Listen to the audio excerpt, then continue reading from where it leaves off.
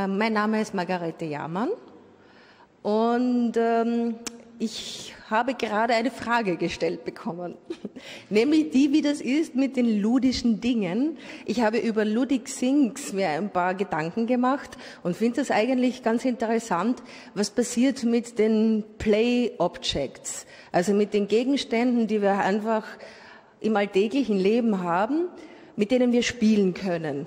Und wie verändern diese Dinge uns und wie verändern wir die Dinge? Und das heißt also, ist da eine gegenseitige Abhängigkeit? Gibt es sowas wie Ludic Things? Und über diese Dinge möchte ich sprechen. Nicht über Interfaces, auch nicht über Objects, auch nicht über Subjects, sondern über Dinge. Heute sind alle Dinge technologische Dinge. Und ähm, auch eine Umbanda-Nymphe aus Brasilien ist ein technologisches Objekt und zwar verstanden als Kulturtechnik. Das heißt, auch wenn es auf den ersten Blick nutzlos ist, oder im Englischen ist es wieder einfacher wie bei Game and Play, futile, also nicht useless, sondern futile ist, also so ein bisschen resistance is futile, sagt der, der, der Scotty bei Raumschiff Enterprise.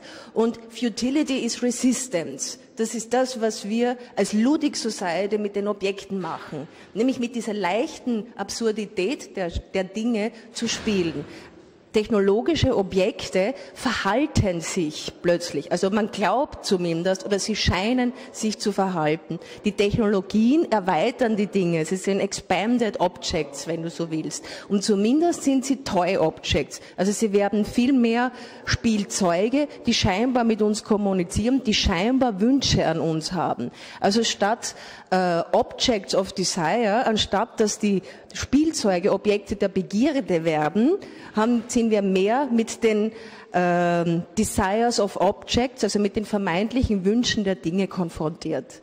Und das genauer zu betrachten, also diese technologischen Objekte zu betrachten, ist schon ein Ausgangspunkt, die Toy Objects, äh, Standardmodel Spielzeuge und erweiterte Spielzeuge zu betrachten.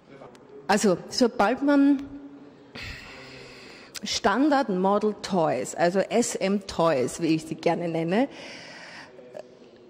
noch erweitert indem man sie ästhetisiert, also zu einem Kunstobjekt macht. Also sei es jetzt eben eins zu eins über das Insert Cartridge mit einem selbst geätzten Reader oder auch eine andere Art der Ästhetisierung, indem man sie eben modifiziert, was ja eigentlich als widerständische Praxis begonnen hat, ist es wirklich aber so, dass das Objekt noch mächtiger wird. Das ist eine sehr interessante Überlegung. Also es wird wieder überhöht oder wird noch äh, mächtiger dadurch.